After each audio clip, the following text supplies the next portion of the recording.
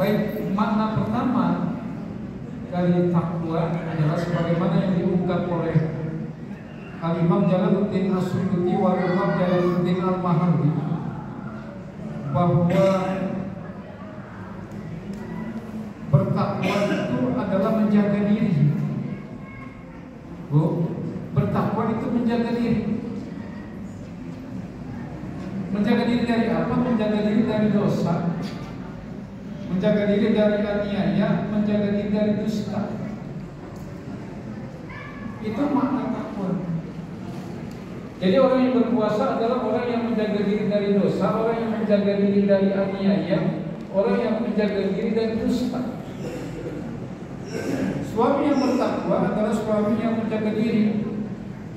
Istri yang bertakwa adalah istri yang menjaga diri. Anak yang bertakwa adalah anak yang menjaga diri. Keluarga yang bertakwa adalah keluarga yang menjaga diri. Masyarakat yang bertakwa adalah masyarakat yang menjaga diri. Pemimpin yang bertakwa adalah pemimpin yang menjaga diri dari dosa, dari dusta, dari aniaya. Ini di ultimate goal, tujuan tertinggi dari ibadah puasa yang malam hari ini menuju malam yang atau hari yang 30